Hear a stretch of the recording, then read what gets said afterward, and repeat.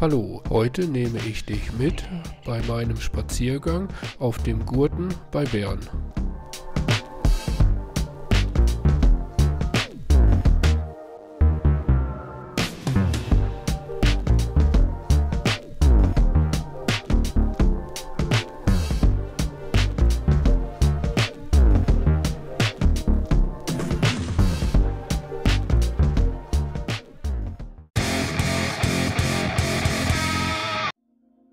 Der Gurten wird auch liebevoll der Berner Hausberg genannt. Dies ist eine gemütliche Runde mit ein paar Höhenmetern und einer wunderschönen Aussicht über Bern und die umliegenden Berge, die du von einem Aussichtsturm genießen kannst. Auf dem Gurten gibt es ein Restaurant, welches bei meinem Besuch leider geschlossen war und einige Aktivitäten für die Kids. Dazu kann man auf dem Gurten auch wunderbar auf den Weiden picknicken und entspannen. Die Gurtenbahn, mit der man den Gipfel einfach erklimmen kann, ist momentan außer Betrieb.